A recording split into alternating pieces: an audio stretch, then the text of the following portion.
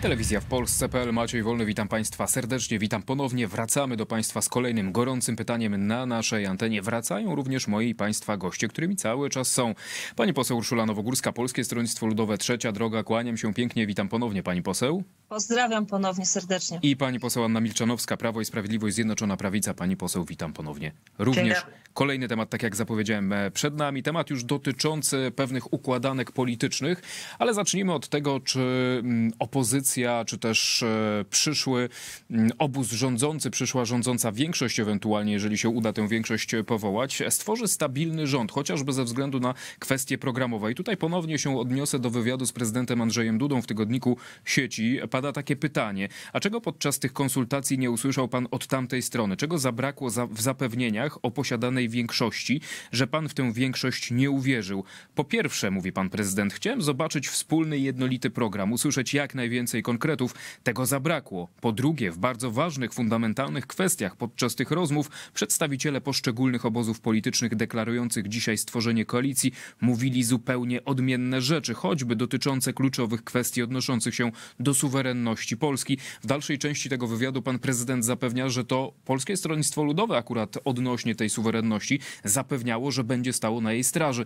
Pani poseł Urszula Nowogórska, jak patrzy na te mm, słowa? Jak patrzy pani poseł na te słowa pana prezydenta, że nie było takiego przekonania o wspólnym programie, o jednolitym programie ze strony e, ugrupowań, które mają tworzyć przyszły rząd. Wie pan, panie redaktorze, na pewno gdyby pan prezydent Andrzej Duda powierzył misję formułowania rządu e, Donaldowi Tuskowi, na pewno bardzo mocno od razu, prawda, po, po, po, po, po wyborach, E, na pewno bardzo mocno e, podpadł swojemu środowisku politycznemu, z którego się wywodzi. Natomiast to, że do końca temu e, środowisku chyba nie wierzy, było najlepszym dowodem to, że wybrał pana marszałka, na marszałka seniora pana Marka Sawickiego tym samym dając sobie gwarancję, że cały proces, cały proces przeprowadzenia pierwszego posiedzenia Sejmu będzie zrobiony w sposób prawidłowy, merytoryczny, tym bardziej, że pan marszałek e, Marek Sawicki ma bardzo duże doświadczenie i polityczne, ale również doświadczenie poselskie, ogromną wiedzę więc tutaj dawał sobie na pewno e, duży i pewny argument do tego, że wszystko przebiegnie w sposób e, naturalny. Natomiast, natomiast co do rozbieżności, no wie pan, normalną rzeczą jest, że jeżeli są różne ugrupowania, to mają różny pogląd na różne kwestie. Najlepszym dowodem na to było również to, że Zjednoczona Prawica e, miała różne podejście do spraw e, związanych z Krajowym Programem Odbudowy i Unią Europejską. To było w ramach dyskusji pomiędzy Prawem i Sprawiedliwością a panem e, ministrem Ziobrą i jego ugrupowaniem, więc to też było namacalnie widać. Natomiast to nie jest żaden argument, że są różnice i rozbieżności, bo one zawsze będą. Kwestia będzie tego rodzaju, czy w ramach dobra Polski będzie możliwe, w co wierzę głęboko, ponad polityczne porozumienie ugrupowań, które będą dążyły do tego, by w naszym kraju było bezpiecznie i, i stabilnie. I tego, I tego jestem pewna. To tę stabilność e, e, dopytam pani poseł jeszcze, bo pan prezydent mówi w ten sposób, postawa partii Razem tego nie potwierdza, patrząc choćby na różnice światopoglądowe między różnymi ugrupowaniami, ten sojusz nie wygląda na stabilny. Wie pan, zawsze można podejmować próbę e, destabilizacji, czy też pokazania społeczeństwu, że coś nie ma możliwości. E, kiedy, kiedy e, wysuwa taki, taki pogląd, czy też taki argument, czy taką myśl, no to w jaki sposób sugeruje społeczeństwu, że mm, ta nowa większość, która może się pojawić, e, może mm, nie być do końca stabilna. To jest pogląd pana prezydenta. Ja uważam inaczej, dlatego że, tak jak powiedziałam, różnice zawsze się zdarzają, a to, że partia razem nie wchodzi, czy też nie wejdzie do rządu i to jest taka deklaracja z jej strony, ma do tego zupełne prawo. Natomiast zadeklarowała, że rząd popierać będzie i to chyba wystarczy. Pani poseł ma inny pogląd, pan prezydent ma swój pogląd, wyraził go w tym wywiadzie. Z drugiej strony ktoś mógłby powiedzieć, że to stwierdzenie faktu. Jak e, to ocenia pani poseł Anna Milczanowska? Pan prezydent Andrzej Duda jest doświadczonym politykiem. Wiemy, że poza już e, tymi latami prezydentury wcześniej też sprawdzał się e, i u boku świętej pamięci pana prezydenta Lecha Kaczyńskiego, który jest jego silnym e, takim mentorem i jakby opiera całą swoją prezydenturę w oparciu o, o to, co tworzył i nie zdążył do końca stworzyć, e, ponieważ został zamordowany pan prezydent Lech Kaczyński. Tutaj rzeczywiście mm, te obawy pana prezydenta co do tego programu, on w, w, tych, w tej koalicji, która została podpisana tam przez kilku panów, jakby się tak rozjeżdża. Sama ta umowa koalicyjna jest na zasadzie ogólników, zresztą sami PR-owcy, którzy również doradzają tym partiom, którzy, które te koalicje tworzą, mówią, że im więcej ogólników, tym lepiej, bo nie trzeba będzie się potem tłumaczyć społeczeństwu ze wszystkiego. Nie ma programu. Nie ma programu. Pan Donald Tusk, który stawia się jako lider, nie ma tego pro, pro, programu. Ja wiem, znam Polskie Stronnictwo Ludowe, wiem, że zależy wam na suwerenności Polski, na bezpieczeństwie Polski, na tym, żeby polska armia się zbro, zbroiła, ale wiemy, że od polityków Koalicji Obywatelskiej tego nie usłyszymy. Tam się nie mówi o suwerenności, tam się nie mówi o tych zapędach w Unii Europejskiej, które już się dzieją, bo one są faktem i, i wiemy, że, że będzie to postępowało dalej, że ta federalizacja e, będzie. Drogie panie, Skoro rozmawiamy o tych kwestiach dotyczących też poniekąd spraw międzynarodowych, pewnych relacji dyplomatycznych, no to dotknijmy tematu tego, kto może objąć tekę ministra spraw zagranicznych, bo pojawiają się już te nazwiska, pojawiają się spekulacje medialne, chociażby w materiale faktów TVN takie spekulacje się pojawiły dotyczące ministra spraw zagranicznych. Tam wskazane jest nazwisko Radosława Sikorskiego. Wskazane te nazwisko jest również w informacjach płynących z tygodnika wprost, a jeszcze wcześniej mówił w jednym z wywiadów na antenie Radia Z o tym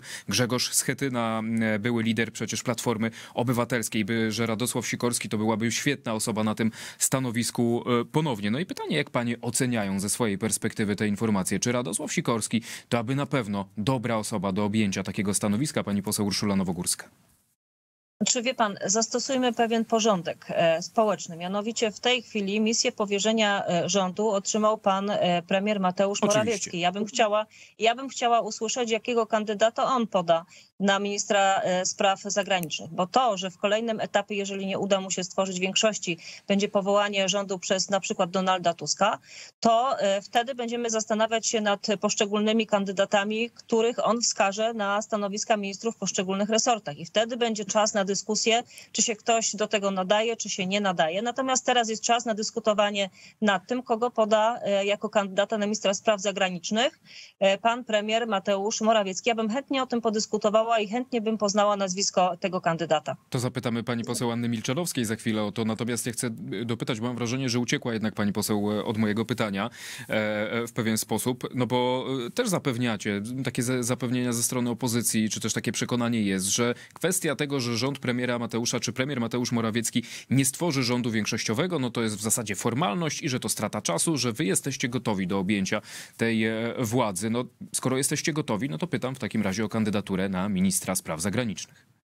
To ja panu odpowiadam, że deklaracja ta, która została również złożona w Pałacu Prezydenckim u pana prezydenta, wtedy, kiedy przedstawiciele wszystkich formacji, e, począwszy od trzeciej drogi przez Platformę Obywatelską i Lewicę, e, odbywały tam spotkania, deklarowały i to się nie zmieniło.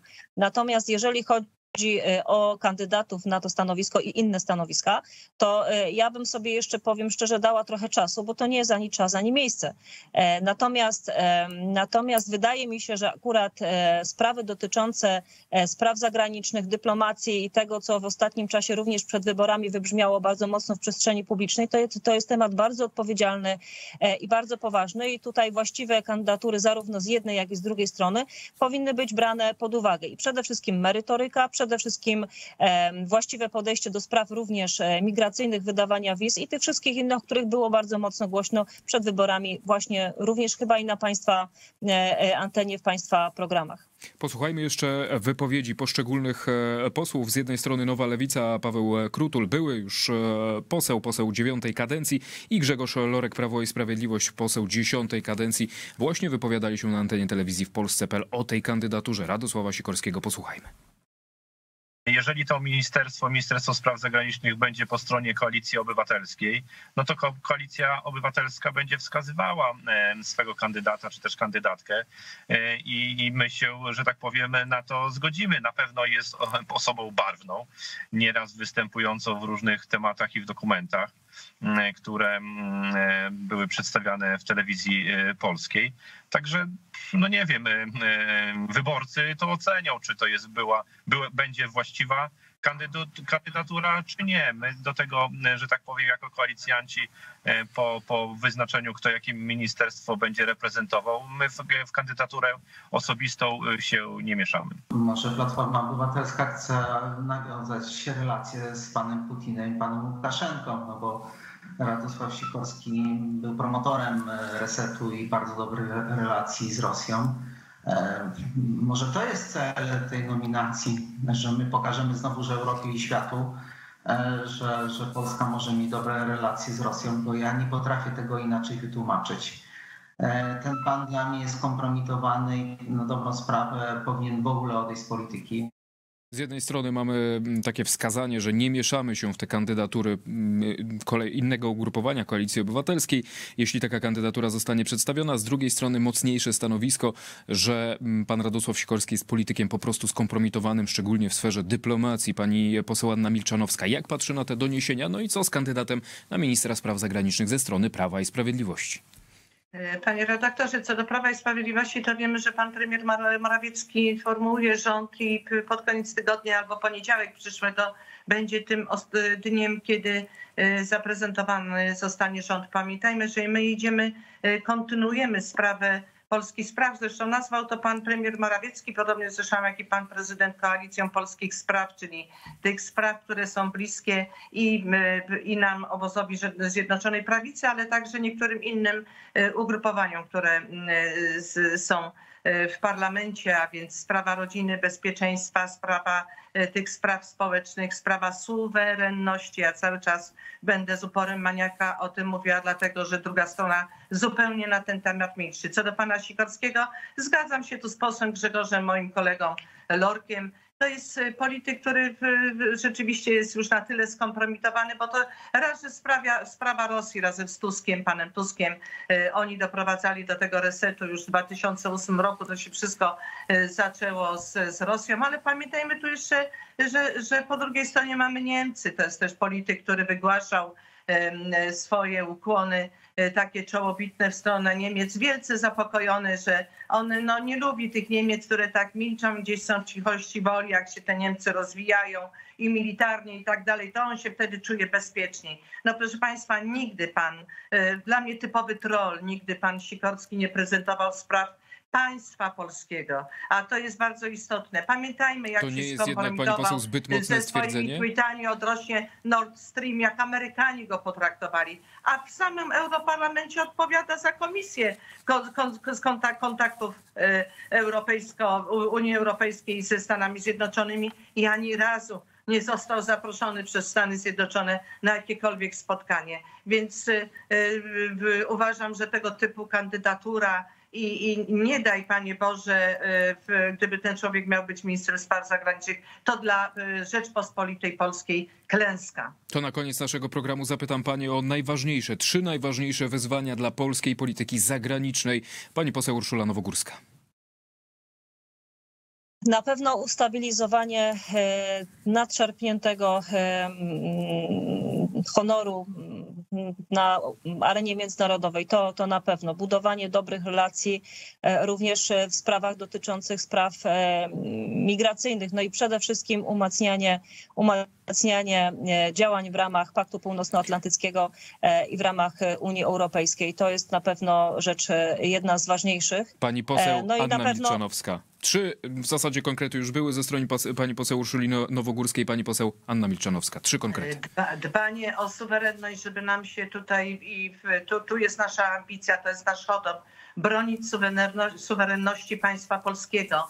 Dbanie o dalszy rozwój gospodarczy naszego kraju, bo rozwijamy się fantastycznie. Jesteśmy już w dwudziestce najlepiej rozwijających się gospodarek światowych E, panie redaktorze, więc tu wiemy, że międzynarodowe organizacje o Polsce konkret. wypowiadają y, się świetnie i trzecie y, to w, o, oczywiście, jeżeli chodzi o sprawy związane z bezpieczeństwem, dalszy tutaj stawiamy kropkę, drogie panie. I Pięknie dziękuję za naszą merytoryczną i dyskusję, za nasze spotkanie. Życzę dobrego, spokojnego dnia. Pani poseł Anna Milczanowska, pani poseł Urszula Nowogórska były moimi i państwa gośćmi. Dobrego dnia, do zobaczenia państwa. Zachęcam do pozostania z telewizją w Polsce.pl.